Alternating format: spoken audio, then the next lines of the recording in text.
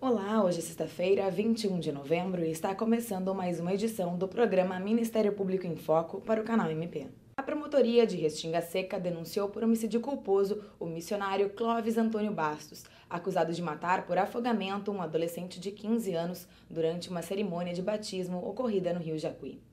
O corpo de Rafael Carvalho foi encontrado por pescadores quatro dias após o ritual religioso da Igreja Evangélica Senhor Jesus Cristo, realizado no dia 19 de setembro. Conforme a denúncia oferecida pelo promotor de justiça Sandro Marones, o missionário agiu de maneira imprudente e negligente. Ao realizar a cerimônia de batismo sem autorização dos pais, equipamentos de segurança e socorro em local inadequado para banho.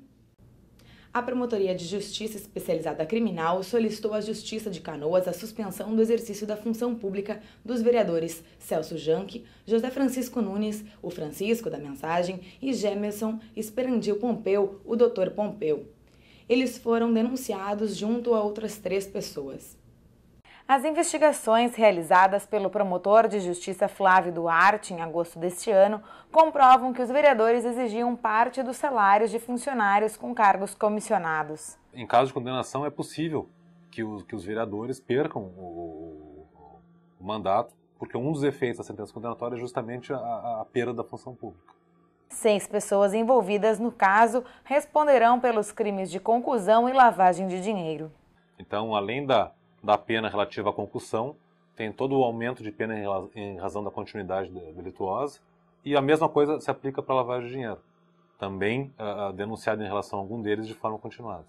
O Ministério Público realizou fiscalização em residenciais privados que abrigam idosos e pacientes de saúde mental em Cachoeira do Sul.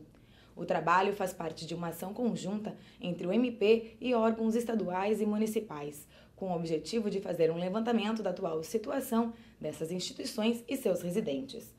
As equipes deverão permanecer em Cachoeira do Sul por cerca de duas semanas para o início dos trabalhos, que inspecionará 22 casas existentes no município. Será feita pelas equipes um censo terapêutico com informações completas de cada paciente. E na próxima terça-feira, dia 25, ocorre a 15ª edição do ciclo de debates Direito e Política, com o painel Descriminalização das Drogas. O subprocurador-geral de Justiça para Assuntos Institucionais, Marcelo Dornelles, será um dos debatedores.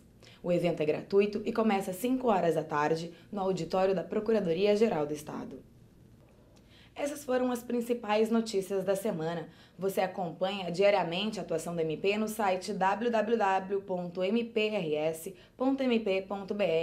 E neste sábado, não perca o programa Conhecendo o Ministério Público. É às 11h30 da manhã na TV Assembleia.